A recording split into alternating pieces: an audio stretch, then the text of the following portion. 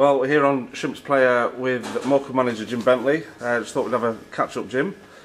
Uh, slow start to the beginning of the season, but we've just seen four wins out of four against quality opposition. Is this is it time to get excited? What what are your thoughts on the season no, so definitely far? not. I think um, you've got to take every game as it comes. You know, seven games in or what have you.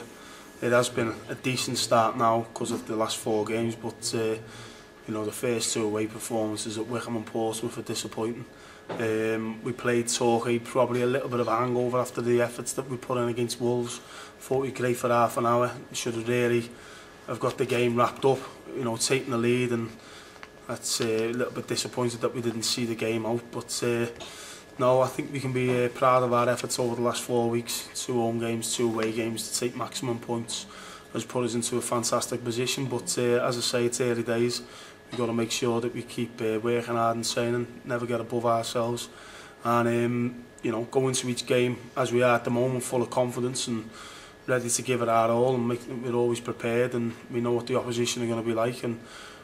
we know how we want to play. Uh, there's still room for improvement with regards to performance right throughout the game. I think, you know, as I say, 30 minutes against Torquay or half a game there against Newport or whatever. You know, that seems to be the way we are at the minute. But, you know, listen to other managers as well. That seems to be the the general uh, way of things at the moment. No one's really got up to full speed, which early season it can happen like that. So we're no different.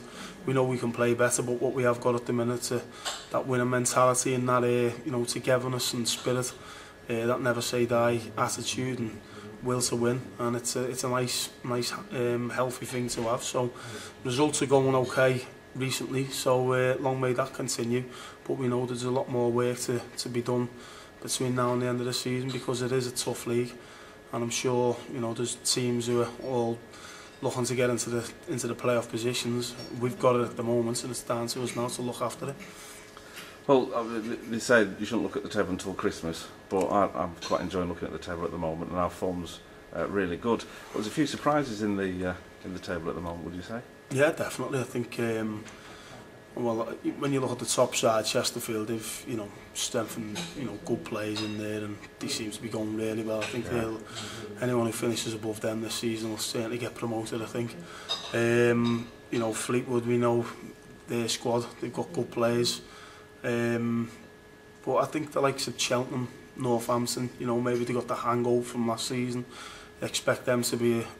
you know, further up the the uh, up the league. Um, Wimbledon, maybe people were probably thinking Wimbledon similar to ourselves. They've started well. Obviously, they lost the last game, but uh, on the whole, they've done okay. So it, it does it takes, you know, as you say, 10, 12 games to level itself out, and then you know, you can see where you're going to be at. But uh, with regards to ourselves, I don't really look at anyone else. It's it's about what we do. It is nice to see us in that position now, and you know, even if you go in the shops or you go in the pub or you whatever, you know, it's nice that people are saying, you know, good things about you and how, you, how well you're doing, and you know, we just keep it up. But it is, it's it's early days and. Mm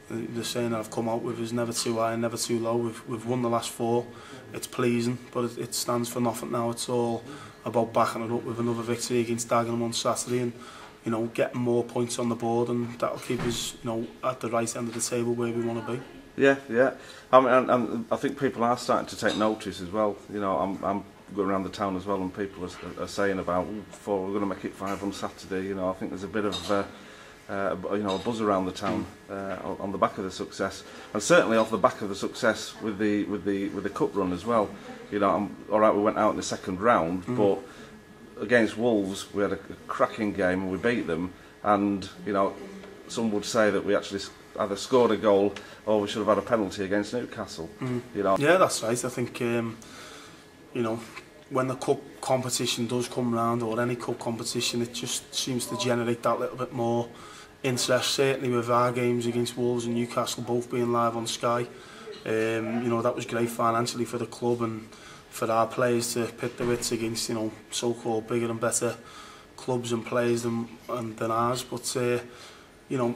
I think we deserved the Wolves game. I think um, anyone who watched it said, yeah, overall, I think you deserved the win rode our luck at times, but we certainly had chances to extend our lead.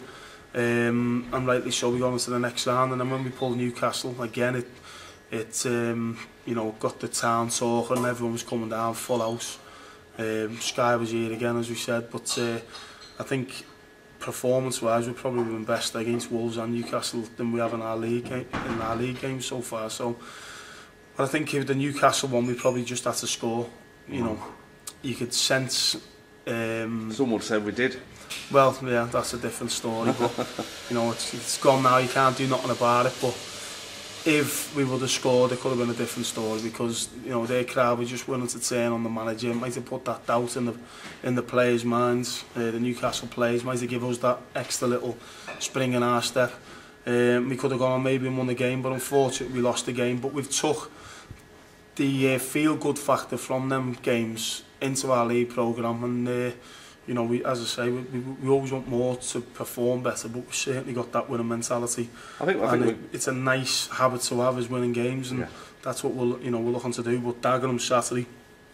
they're going well. Um, you know, that'll be a tough game. It's it's all well and good what we've done over the last four weeks, but we've got to make sure that we're in front of our home supporters here. We know what what what to expect, and we've got to make sure that we're right on it because if you're not, at this level you get found out. So it's uh, it's important that you know we we take the confidence from the last couple of games, but we don't certainly think that we're just going to turn up and roll them all because we won the last four against you know good opposition as well. So uh, it'll be a tough game, but as I say, we're ready and ready to go. Well, uh, seven league games gone, and you know, obviously with the eighth on Saturday and, and two cup games as well, takes a bit of toll already on injuries. And mm. you know, we, we think there's a, there's a match last week where we uh, named five subs. That's all.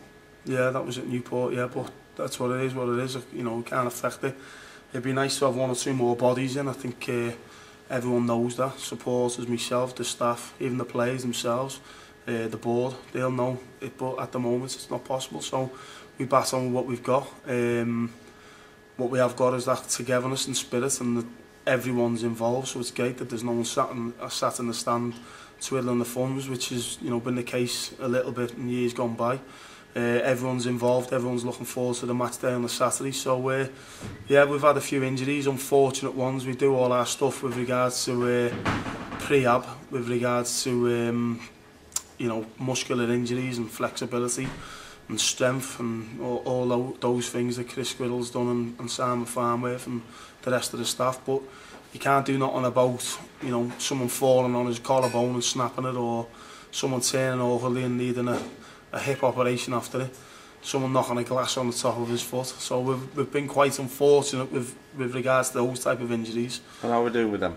Um, well, Fleming's, you know, it was an unfortunate one, but um, we've tried to have a look at him today and it, we don't know.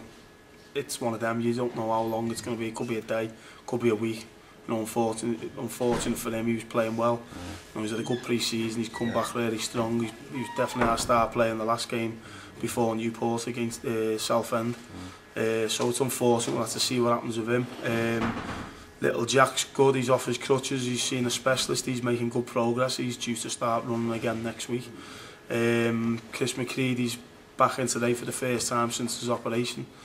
Um, so he's probably looking around 10 week mark, something like that, to, to recover from that. Right. Now he's got a big scar, so their long term is Jack and uh, Chris, but obviously the sooner we can get Flemo back, the better. And Marcus Marshall struggled with his hamstring a little bit, so um, he's training this week. He's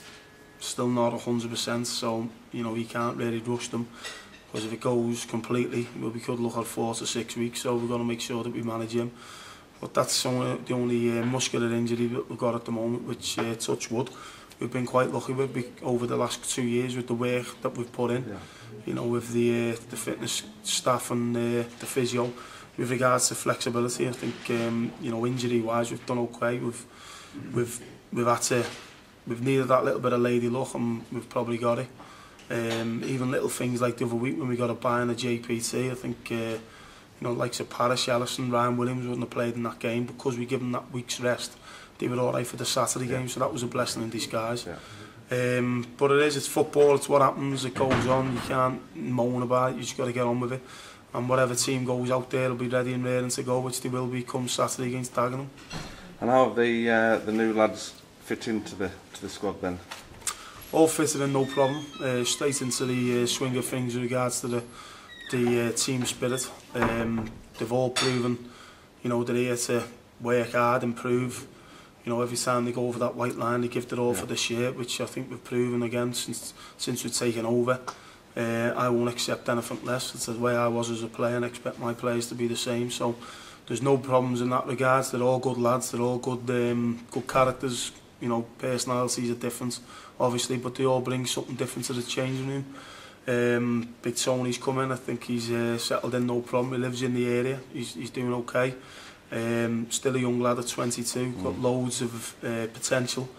and it's down to us to get it out of him. Um, you know, we, he could potentially go on to, to a higher level. Um, he will have his, he will have his ups and downs and his uh, development, um, but he's done okay. Um, Alex Kenyon, I think he's gone from strength to strength. Yeah. I think the fans have seen what type of player he is. Yeah. He's uh, you know, at 20, just turned 21, I think he is. Uh, you know, he's definitely got a bright future in the game. He's uh, unbelievable appetite and hunger for the game. He, he has gone from Everton right down to college football and made, made his way back up through the non-league ranks and he's now at a League Two club and you can see that he thinks this is his chance and he's definitely got a chance of going to the, the higher level up again. Um, he was particularly excellent last Saturday. Yeah, he's done well to be fair to him. Um, you know, he's in and out a little bit. His last couple of games, I think he's done really well.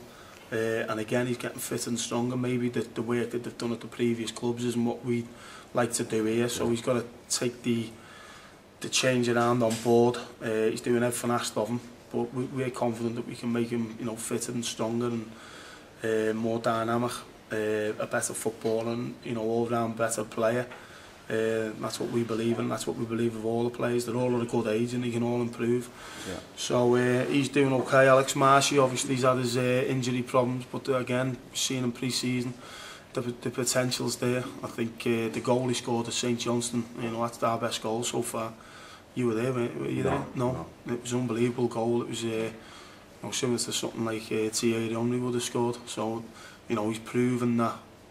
he's got it in there. He's yeah. shown in uh, patches in pre-season he's got it. So it's you know hopefully he can get over his injury problems and uh, we can get him back on the field to play and I'm sure he'll uh, show everyone he can do. But at 23 years of age he's mm. certainly got a lot of potential.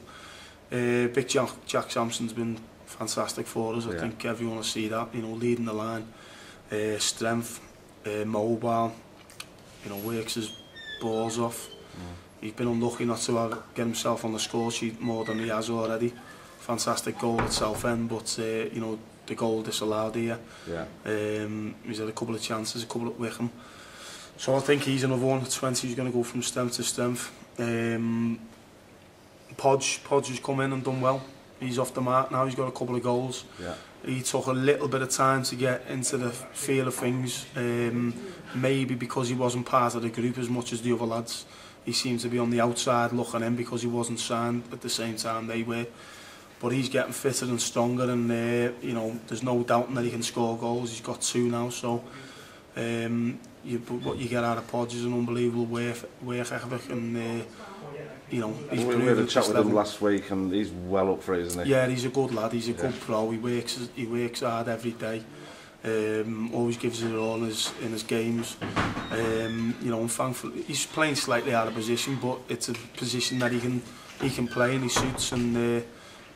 you know, he's got into, he could have had that attack against Newcastle. Yeah. You know, he should have scored one or two more in the other games, but thankfully for us, he's off the mark now, yeah. so he's not chasing himself uh, for too long because he can't play on centre forward or strikers' minds if he don't score. So uh, he's done all right, Podge. I think there's more in the tank for them as well, but he's getting to where we expect him to be, and yeah. his performances. Uh, you know, since we've gone on this little run, have got better and better. So uh, pleased for him.